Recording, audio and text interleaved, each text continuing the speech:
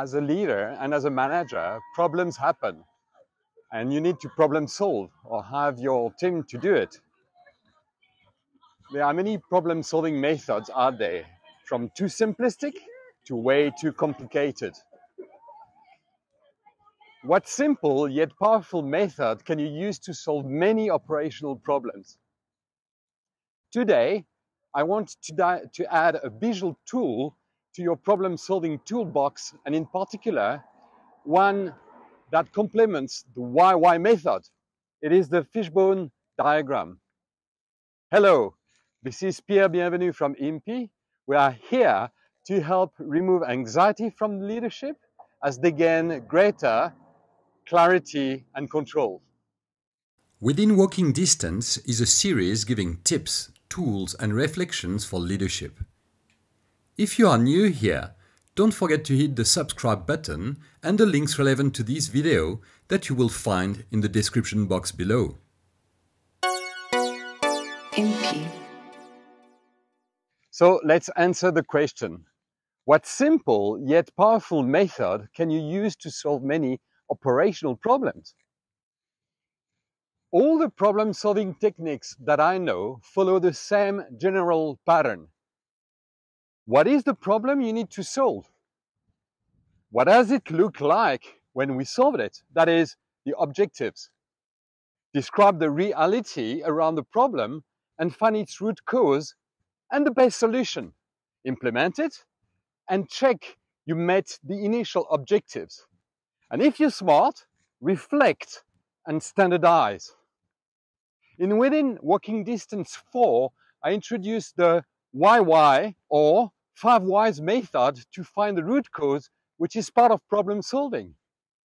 We're going to build on it and give you and your team a means to be both systematic and creative to find the root cause and the best solutions.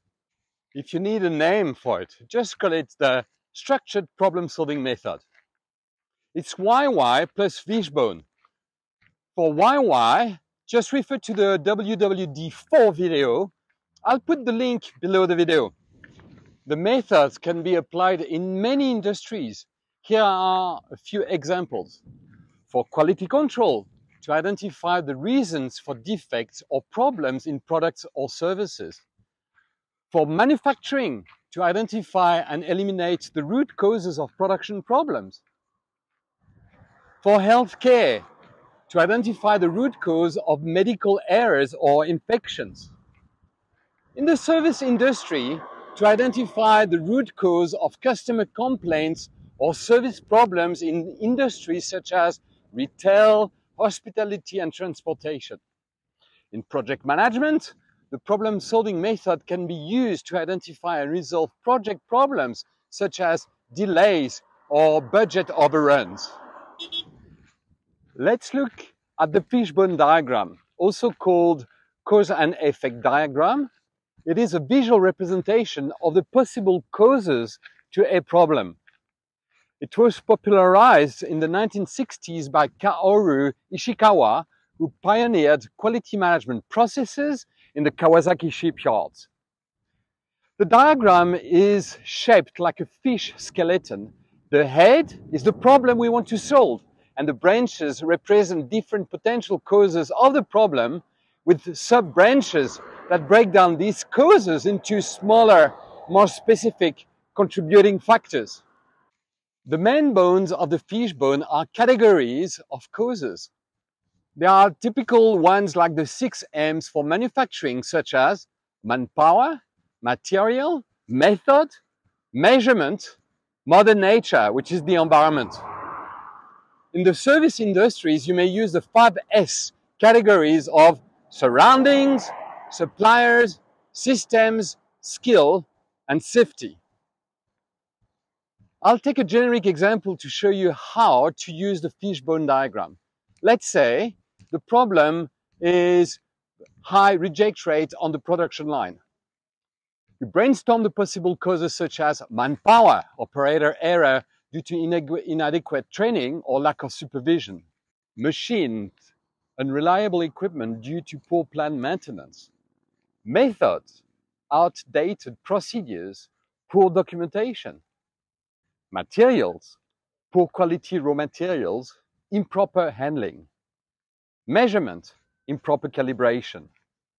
Mother nature or environment, temperature variations, high humidity. The team agrees on which of the possible causes are most probable. Here, there are several methods to reduce the possible causes to a few probable causes, such as voting. Now, we can use the five whys tool to systematically get to the root cause. From that point, you will want to identify all possible solutions, pick up the best one to implement, etc.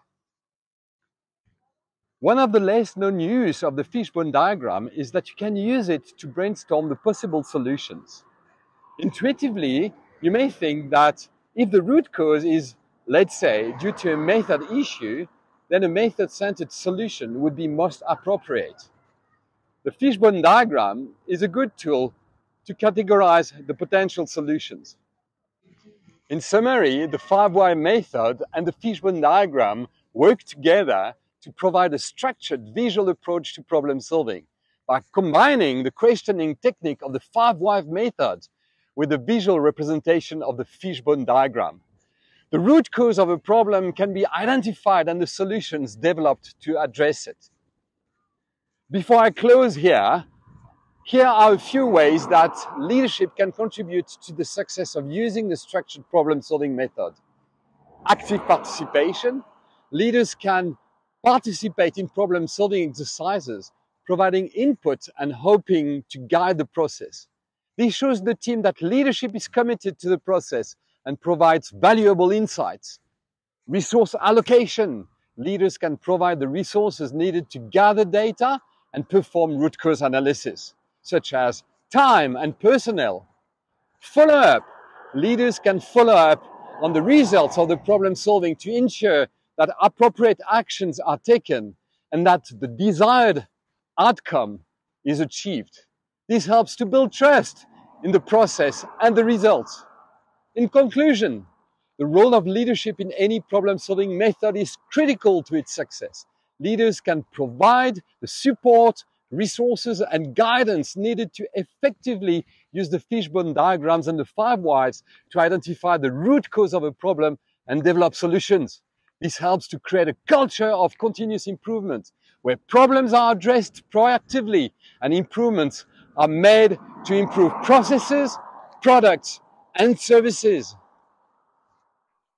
And this is the good quote for this episode, attributed to George Polya.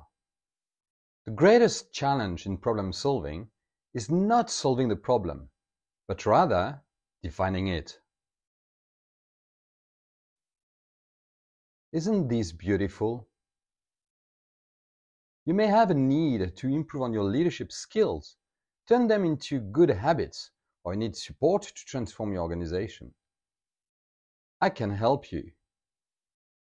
If you would like to meet with me for a free hour of leadership coaching, send me an email at wwd at impi.solutions.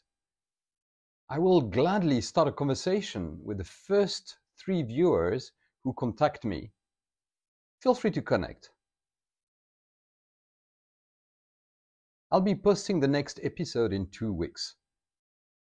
In the meantime, lead well and solve problems.